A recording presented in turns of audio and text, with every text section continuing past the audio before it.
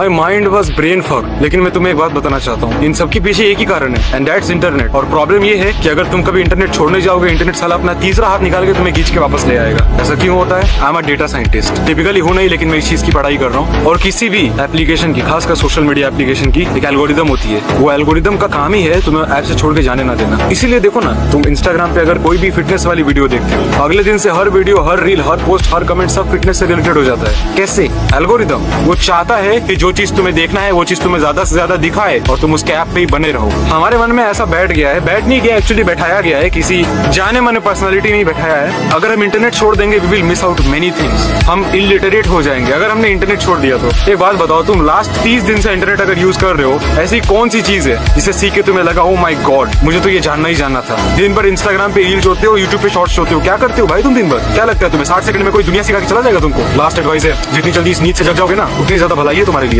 Stay strong.